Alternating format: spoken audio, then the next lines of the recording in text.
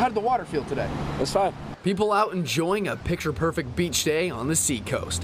However, on the bulletin board at North Hampton State Park Beach, you'll find this yellow piece of paper informing swimmers of a fecal bacteria advisory.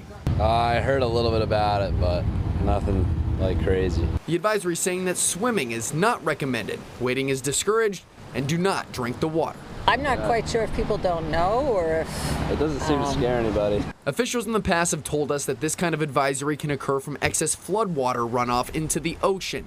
North Hampton State Park Beach is just one of the four places in New Hampshire with these advisories, but beachgoers don't seem worried. You just keep your mouth closed.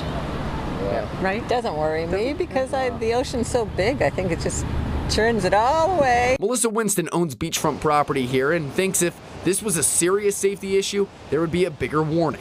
If there is a major concern, they should make it more um, Yes, public yes, instead of yeah. posting a little sign in the parking lot. If it doesn't smell and the water feels fine, Granite Staters are still going to try to enjoy the Atlantic Ocean waters. I'm still gonna surf and fish and continue to do my things here. Yeah. But yeah. I'll still go Yeah. in. It doesn't bother me. Now, the Department of Environmental Services will retest the ocean water tomorrow.